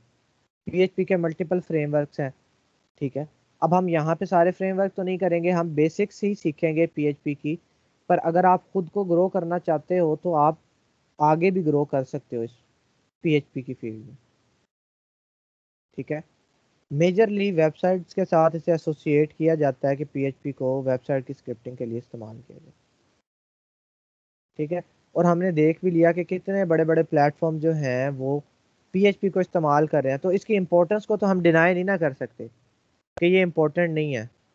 इस चीज़ को तो हम बिल्कुल डिनाई नहीं कर सकते, क्योंकि फेसबुक जैसा इतना बड़ा प्लेटफॉर्म PHP को यूटिलाइज कर रहा है। विकीपीडिया टम्बलर जो है, आपके पास वर्ड पर जो है मेल चिम्प फ्लिकर PHP को इस्तेमाल कर रहे हैं, चाहे वो एडवांस के थ्रू कर रहे हो, चाहे वो किसी ना किसी तरीके से कर रहे हो, पर कर ज़रूर रहे हैं। ठीक है? अच्छा more about P H P is executed on server and the result is return on the browser plain H बिल्कुल वही है कि एग्जीक्यूट कहाँ पे हो जाएगा? सर्वर पे और plain H T M L में आपके पास जवाब आ जाएगा। PHP files has an extension of .php याद रहे कि PHP फाइल्स की जो एक्सटेंशन अब हमने रखनी है, वो पी रखनी है। क्या रखनी है? डॉट पी जो है वो रखनी है। ठीक है? डॉट पी के एक्सटेंशन से पता लगेगा कि ये जो फ़ाइल है, ये PHP की फ़ाइल है। ठीक है? उसके अलावा हम इसके अगर यूजेज की बात करें तो यूजेज इसका और क्या क्या आ जाता है? जैसे पहले भी बात हुई है वाई में why P H P can generate dynamic page content dynamic content बना सकने की काबिलियत जो है वो पी एच पी में मौजूद है। P H P can handle and manage files on the server server की फ़ाइल को भी मैनुपलेट कर सकता है मैनेज कर सकता है। P H P can collect and process data form data यानी कि पीएचपी क्या कर सकता है? फॉर्म का डाटा, जैसे हमने फॉर्म बनाया था ना एचटीएमएल में, अब एचटीएमएल और पी का फ़र्क इधर से आपको समझ में आ जाएगा, क्योंकि उस टाइम भी हमारी इस बात पे थोड़ी बात हुई थी कि अब एक आपके पास फॉर्म है।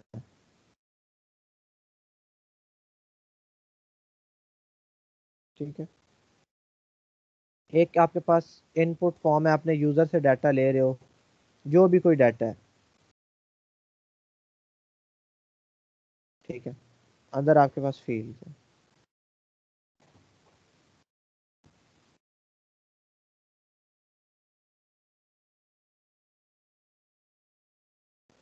ठीक है। अब H T M L C S S का काम इतना ही है कि वो सिर्फ़ इसे अच्छा नज़र अच्छा दिखा सके और डाटा लिखवा सके यूज़र से। डाटा को सेव करवा के वापस सर्वर तक भिजवाने का काम इससे नहीं हो पाता। इसे कोई फ़ाइल चाहिए? जैसे हमने एक्शन की बात की थी एक्शन से क्या होगा? ये चीज़ पास हो जाएगी उस फ़ाइल में। वो फ़ाइल इसे हैंडल करके और डेटाबेस में सेव करवाएगी। तो जैसे ही आपने सबमिट का बटन क्लिक किया सबमिट पे क्लिक किया फॉर्म का डाटा आगे चला जाएगा। तो ये काम भी किसने करवाना है? पीएचपी ने। वरना हमारे पास एच एस तो सिर्फ़ और सिर्फ़ फॉर्म बना के दिखा सकती है। फॉर्म के डाटा को प्रोसेस तो नहीं ना करवा सकती। फॉर्म का जो डाटा इनपुट किया, उसे सेव तो नहीं ना करवा सकती, उसे बाद में फेच तो नहीं ना करवा सकती। ठीक है? तो इसे कौन फेच करवाता है? इसे कौन करवाता है? इसे पीएचपी करवाती है। पीएचपी फॉर्म का डाटा को लेती है, फिर उसे फर्दर एग्जीक्यूट करवाती है। एक ये भी फ़ंक्शन हमें पता लग गया। पीएचपी कैन मैनिपुलेट कुकीज़ अब कुकीज़ एक और डिबेट है कुकीज़ पे हम भी हम बात करेंगे। कुकीज़ इसी तरह से है जैसे आपके हिस्ट्री को एक तरह से सेव कर लेना। ठीक है?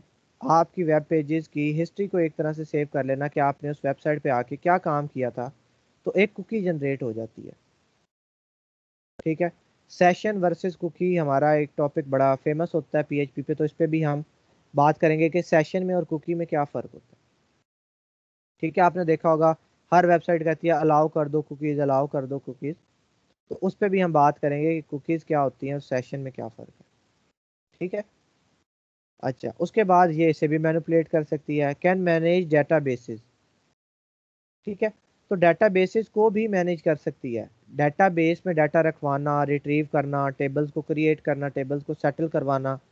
माई एसक्यूएल क्योंकि हमारे पास लैंग्वेज यूज़ होनी है माई एसक्यूएल की डाटा बेस यूज़ होनी है तो वो भी पीएचपी के साथ हम उसकी भी क्यूरीज लगा सकते हैं। ठीक है? तो उसको भी हम इंटीग्रेट कर सकते हैं डाटाबेस के साथ मिला के पीएचपी से हम क्या कर सकते हैं, अपने डाटाबेस को भी हैंडल करवा सकते हैं। कोई चीज़ रिट्रीव करवा के हम शो करवा सकते हैं सर्चिंग करवा सकते हैं। पीएचपी के अंदर मल्टीपल फ़ंक्शंस भी मौजूद होते हैं, जो कि बिल्ट इन है, जो कि मल्टीपल काम करवा होते हैं।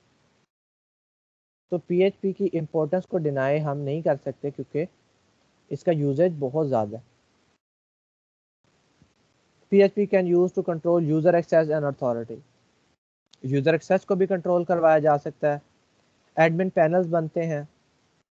सारा कुछ रिपोर्ट्स जनरेट करवाई जा सकती हैं। PHP can encrypt sensitive data PHP encryption का काम भी करवा सकती है। PHP की मदद से हम डाटा को इनक्रिप्ट भी करवा सकते हैं। इनक्रिप्शन क्या होती है? जी कोई बताएगा इनक्रिप्शन क्या होती है? सर डाटा को सेव करने के लिए उसको इनक्रिप्ट कर देते हैं पासवर्ड जैसे प्रोटेक्टेड होते हैं हमारे डॉक्यूमेंट्स इनक्रिप्शन कहते हैं। बिल्कुल है इसी तरह से हम किसी भी चीज़ को कोड कोड को हाइड कर देना। बिल्कुल। किसी एक ऐसी फॉर्मेट में चेंज कर देना जो कि किसी के लिए समझना मुश्किल हो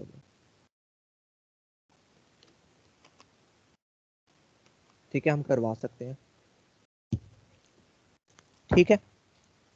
तो आप लोग ये काम जो है, यहाँ पे पीएचपी से ये सारे काम ले सकते हैं। पीएचपी केस सेंसिटिव होती है या नहीं? पीएचपी का सेंटेक्स क्या होता है? पीएचपी में कमेंट कैसे लिखते हैं? पीएचपी का वेरिएबल क्या होता है? ये सारा कुछ हमने करना है। और ये हम किसमें करेंगे? हम कोड की मदद से करेंगे कि पीएचपी को कहाँ लिखें पीएचपी की फ़ाइल कैसे सेव करवाएँ। पीएचपी का वेरिएबल कैसे बनेगा? पीएचपी में फ़ंक्शन कैसे बनेगा? पीएचपी में लूप कैसे लगी क्या पीएचपी में लूप होगी या नहीं? क्या फ़ंक्शन होगा या नहीं? आपके अकॉर्डिंगली क्या होगा? सर होगा। क्यों होगा? किस वजह से होना चाहिए इसमें?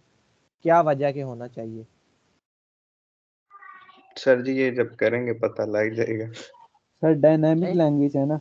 सर हो सकता है हमें एक एक मतलब कोई प्रोसेस में बार बार करवाना हो तो हम लूप इस्तेमाल करें। बिल्कुल वो तो करवानी yes, पड़ेगी ना। कोड को बार बार यूज़ करने के लिए। वो तो ठीक है कि फ़ंक्शन होगा लूप होगी वेरिएबल होंगे पर ये सारी चीज़ें इसमें क्यों हैं इस लैंग्वेज में? एच में तो नहीं थी। एच में लूप लगाई थी कोई आपने? या सी एस एस में? तो इसमें डायनामिक साइड को डायनामिक ये स्क्रिप्टिंग लैंग्वेज है ना जिससे हम काम करवा रहे हैं प्रोसेसेस करवा रहे हैं। जैसे हम जावास्क्रिप्ट में फ़ंक्शंस थे तो वो उसमें तो नहीं थे ना हर लैंग्वेज का अपना अपना काम।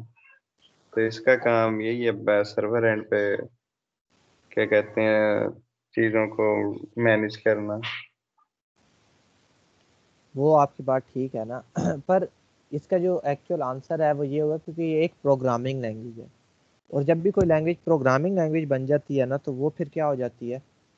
उसकी अथॉरिटीज़ बढ़ जाती है। जो भी प्रोग्रामिंग लैंग्वेजेस है, उनमें ये वाले फीचर्स मौजूद होते हैं। ठीक है? तो ये लैंग्वेजेस की जो ग्रोथ है ना, देखिए कोड बेशक आप वर्डप्रेस आपने सीख ली है वर्डप्रेस की सर्विसेज़ भी दे लेते हैं। पर कोड की जो इम्पोर्टेंस है, उससे डिनाई भी नहीं कर सकते, क्योंकि आपको खुद समझ आ गया है कि जैसे ही वर्डप्रेस की बाउंड्री आती है, आप लोग कहते हैं कि आप क्या करें, अब तो नहीं हो सकता ये काम। तो कोड की बाउंड्रीज इस एज सच नहीं होती, उसमें आप अपनी सोच को तख्लीक कर सकते हो एक तरह से। खैर वर्डप्रेस भी अब बहुत ज़्यादा एडवांस हो गया जैसा आप सोचते हो इवन जितना आपने सोचा होता है, उससे कोई अच्छी चीज़ ही आपको मिल जाती है। जैसे आपने कोई कितना एक प्यारा वेब पेज सोचा होगा या कितनी कोई चीज़ सोची होगी पर वर्डप्रेस की कोई थीम आपको उससे भी अच्छा डेमो ला के देती है कि ये देखो हमने तो ये सोचा। तो आप अपनी सोच को डिनाई कर देते हो आप कहते हो कि यार इससे बेहतर मेरी सोच से तो अच्छा इन्होंने बनाया हुआ ठीक है?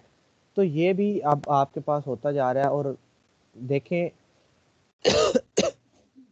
मज़ीद इसमें क्या एडवांसमेंट आती है। ठीक है? तो पर कोड की जो इम्पोर्टेंस है, वो कभी भी आप डिनाई नहीं कर पाओगे, कभी भी आप इसे नहीं छोड़ पाओगे। कोड की अपनी एक जगह पे इम्पोर्टेंस है, जो कि कायम रहेगी। ठीक है?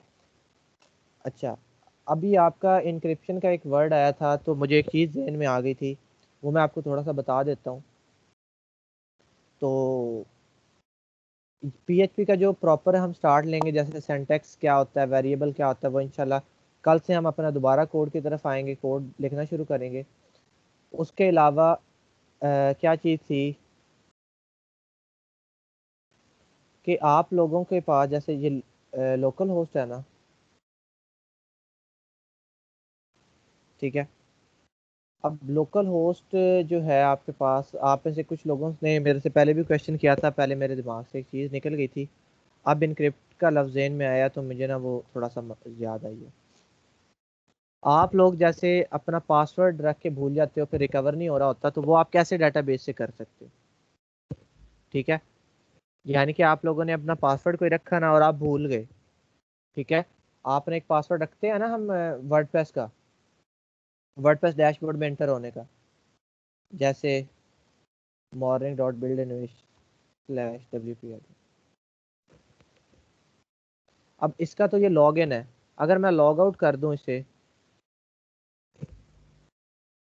तो ये वाला पासवर्ड आप में, अब तो मैंने सेव किया हुआ है, पर हम लोग भूल जाते हैं समटाइम तो अगर आप भूल गए हैं और आपने लोकल होस्ट पे इंस्टॉल की हो या आपने होस्टिंग पे की हो, दोनों पे तरीका सेम है. वहाँ पे भी आपकी डेटाबेस ऐसी ही होती है. ठीक है? तो आप लोगों ने क्या करना है, जो भी आपकी जैसे मॉर्निंग वाली वर्डप्रेस है तो ये मॉर्निंग वर्डप्रेस में है. ये वो वाली मॉर्निंग वर्डप्रेस है जो हमने लोकल होस्ट में रखवाई हुई थी, याद रहे. ये मॉर्निंग वर्डप्रेस कौन सी है? जो हमारे पास एच डॉक्स में पड़ी हुई है। ये वाली। ठीक है? मॉर्निंग वर्डप्रेस डॉट कॉम इसकी हमने डाटाबेस का नाम भी क्या रखा था? मॉर्निंग वर्डप्रेस अगर आपको याद हो। अब देखिए, इसके अंदर ये टेबल्स बने हुए हैं। कुछ कमेंट्स को हैंडल कर रहे हैं, कुछ लिंक्स को, कुछ ऑप्शन कुछ पोस्ट को, कुछ डिफरेंट डिफरेंट चीज़ें। अब आप लोगों ने क्लिक करना है यूज़र्स पे। अब देखिए यूज़र पे क्लिक करें तो एडमिन और पासवर्ड अब पासवर्ड इसका इनक्रिप्टेड है। अगर आपके पास डाटाबेस की एक्सेस है तो आप इसे चेंज कर सकते हो। ठीक है? अब चेंज कैसे करना है? एडिट पे जाना है। और ये आपके पास देखें यूज़र अंडरस्कोर पास इसे बदल देना है आपने। मैं आपको बताता हूँ कैसे बदलते हैं। पहले मैं कोई और रख के भी आपको दिखाता हूँ। और फिर हम देखिए ये वाली हमारी ये वो वेबसाइट है, मॉर्निंग वर्डप्रेस वाली, ये शुरू शुरू में हमने बनाई थी। उसके बाद तो हम लाइव वाली पे काम करने लगे थे ना। ये देखिए लोकल होस्ट पे पड़ी हुई है। ठीक है? अब इसका है admin underscore one two three सबको नज़र आ रहा है ना, यही रखा था शुरू में हमने लॉग इन कर लेता हूँ। देखिए लॉग इन हो गया। अब सपोज़ मैं ये भूल जाता हूँ। ठीक है? सपोज़ क्या होता है, मैं ये भूल जाता हूँ admin underscore one two three मुझे याद नहीं है। मैं रिकवर नहीं कर पा रहा। पर मुझे डेटाबेस तक एक्सेस है ना। तो मैं मॉर्निंग वर्डप्रेस में आऊँगा।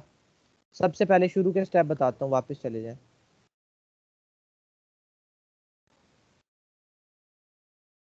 लोकल होस्ट पे आओ simple P H P my admin में जाना है। जहाँ से हमने डेटाबेस क्रिएट करवाई थी। उसके बाद मॉर्निंग वर्डप्रेस फोल्डर का नाम आपको याद होना चाहिए, जो आपके फोल्डर के, जहाँ पे आपने उसके बाद W P user W P user आपका टेबल है। इस टेबल में आओ, ठीक है? उस टेबल को आपने एडिट करना है। अब आपका पासवर्ड तो इनक्रिप्टेड है, अब आपने चेंज करना है। देखिए यूज़र अंडरस्कोर पास ये आपने चेंज करना है। तो आप चेंज कर लो। अब सपोज़ मैं लिख लेता हूँ, यहाँ पे, ये देखें। Hamza underscore one two three ठीक है? Hamza underscore one two three मैंने लिख दिया। उसके बाद अब देखें, इसे अगर मैं खाली छोड़ दूँगा ना ऐसे ही, और इसे मैं गो कर देता हूँ। अब मैंने पासवर्ड तो रख लिया, अब मैं वापस आता हूँ एक दफ़ा। अब क्या हो गया पासवर्ड अपडेट हो चुका है। ये देखें admin underscore one two three लगा रहा हूँ, अब नहीं लग रहा। पर Hamza underscore one two three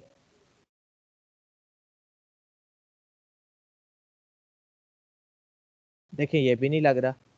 ये ना लगने की वजह क्या है? एक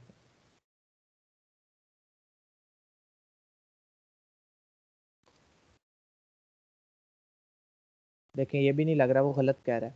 और अभी आपको मैं दिखाऊँगा कि यही वाला पासवर्ड लग भी जाएगा। देखिए, क्यों नहीं लग रहा? हालाँकि मैंने सेव भी किया था। इसको इंक्रिप्शन करना इसकी ज़रूरी है, क्योंकि पहले देखें इंक्रिप्ट हुआ हुआ था। यहाँ से ड्रॉप डाउन करें। एम डी फाइव सेलेक्ट कर लेना है। क्यों एम डी फाइव सेलेक्ट करना है? ये आपके इंक्रिप्शन की एक टेक्निक है, एक, उसकी टर्मिनोलॉजी है, और हमने यही यूज़ करना होता है, क्योंकि पी इसी को एम डी फाइव वाले को सपोर्ट करती देखिए, अब ये इस कोड में बदल गया। देखिए यूज़र पासवर्ड किसमें है? चला गया इसमें अब मैं ज़रा लगा के देखता हूँ। देखें मैं फ़ौरन उसमें लॉगिन हो गया। ठीक है? अब देखें, यहाँ पे अगर आप, मैं सी करके देखूँ ना, इसे आई पे क्लिक करूँ तो Hamza underscore one two three है। लिखना यही है, पर डाटा बेस में उसे सिंपल स्टोर करते हो तो पी उसे रीड नहीं करती और चेकआउट नहीं करती कि सेम है कि नहीं। यहाँ पे वो कहता है कि एम डी फाइव की इनकोडिंग टेक्निक से ये इनकोड होना चाहिए। ठीक है? कोई और टेक्निक से करोगे, फिर भी ये रिज़ल्ट नहीं देखता। एम डी फाइव को यूज़ करते हो, और ये तभी उसे फिर मैच करके देखता है। और देखें अब मेरा Hamza underscore one two three आ गया तो जब भी अगर आप पासवर्ड भूल जाओ रीसेट ना कर पाओ तो लोकल होस्ट में आके यहाँ से आप आसानी रीसेट कर सकते हो। ठीक है? यूज़र उसका और ये कुछ भी इसीलिए तो कहते हैं डाटाबेस जिसके हाथ में लग गई, उसे तो सारा कुछ पता लग गया आपका। तो डाटाबेस सेंसिटिव डाटा होता है। तो आप यहाँ से एडिट करके अपना यूज़र नेम पासवर्ड रखो। एक और चीज़ आपको याद रहे जो टाइप बदलनी है ना, सिर्फ़ इंक्रिप्शन की, वो इसकी बदलनी है। यहाँ ऊपर से जाके नहीं बदल देनी। नहीं। ठीक है? ये ऊपर से आपके पास डिफरेंट टेक्निक्स हैं। आपने यहाँ से नहीं बदल देनी। सिर्फ़ और सिर्फ़ यूज़र पासवर्ड वाला जो है ना यूज़र अंडरस्कोर पासवर्ड वाली जो आईडी है, इसके आगे से आके आपने बदल देनी। दैट्स इट और उस पर गो पे क्लिक कर दे। आपका सेव सेव हो जाएँगी चेंजेस और अब आपका जो पासवर्ड नया आपने रखा होगा, वो आप लगा सकते ये तरीका जो है ये सिर्फ़ ना ही लोकल होस्ट पे? हम डेटाबेसेस में जाके डाटा को मैनिपुलेट करवा सकते हैं। बिल्कुल करवा सकते हैं। क्योंकि एक्चुअल में तो चीज़ वहीं पे पड़ी हुई है ना।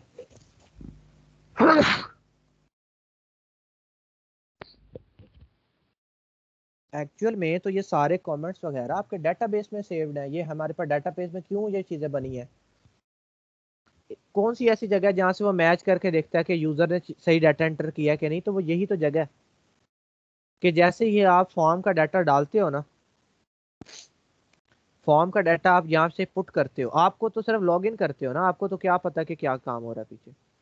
आप तो सिर्फ़ लॉगिन पे क्लिक कर देते हो। पर एक्चुअल में वो मैच करता है, क्या यूज़र नेम एडमिन है, क्या पासवर्ड इसका वही है। अब देखिए, मैं admin underscore one two three से लॉगिन करने की कोशिश करूँगा ना, नहीं करेगा। क्यों नहीं कर रहा? उसे कैसे पता? तो कोई तो जगह है ना, जहाँ से वो मैच करके देखता है कि सेम है कि नहीं। ठीक है, ऐसे तो नहीं ना ऑथेंटिकेशन दे देता। हमजा अंडर स्कोर इस पे जब करेंगे तो वो कहेगा, जाने दिया। क्यों जाने दिया मुझे? क्योंकि बैकएंड पे वो चीज़ कहीं पे स्टोर है, वहाँ से उसने चेक किया। तो उससे दोनों एडमिन भी मिला और ये भी मिला, उसने कहा, ठीक है, जाने दो। तो फेसबुक वगैरह की लॉगिन ये जो भी आपकी जीमेल की लॉगिन है, वो कहीं इसी तरह डेटाबेस से चेक होके होती है, वरना तो मैं लॉगिन करूँ तो मैं आपकी जीमेल में चला जाऊँ। आप लॉगिन करें, आप मेरे फेसबुक अकाउंट में आ जाए। फिर सारा ये तो निज़ाम दरहम बरहम हो जाएगा। तो ऐसा नहीं होता। आपके पास चीज़ें चेक होती हैं वैलिडेट होती हैं और फिर होती हैं। और आपको एक और चीज़ बता दूँ कि ये जो तरीका भी हमने देखा है पासवर्ड को रीसेट करने का, ये तरीका लोकल होस्ट पे भी ऐसा ही है और सर्वर पे आपका सी पैनल पे होस्टिंग कह लो से वहाँ पे भी वैसा ही है। क्यों वैसा है? क्योंकि वो भी माई एसक्यूएल डेटाबेसिस को यूज़ कर रहे होते हैं हम ठीक है? तो आपका ये तरीका ऐसे ही है, उसकी रिप्रेजेंटेशन भी ऐसी होगी, शक्ल भी ऐसी होगी, सारा कुछ वैसा होगा। तो हमारा वो वाला लेक्चर भी अभी एक मिसिंग है। कि आपको थोड़ा सा सी पैनल का सर्वे नहीं करवाया हमने। तो सी पैनल का भी इंशाल्लाह थोड़ा सा एक वॉक थ्रू देखेंगे कि कैसा होता है। सब डोमेन वगैरह बनानी देखेंगे।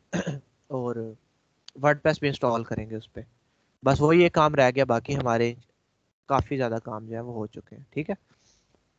तो ये आपके दो तीन चीज़ें आज हमने की हैं। तो इसे लाजमी आप लोग जो है प्रैक्टिस कीजिएगा चेक करें क्योंकि कुछ लोग भूल जाते हैं पासवर्ड रख के। तो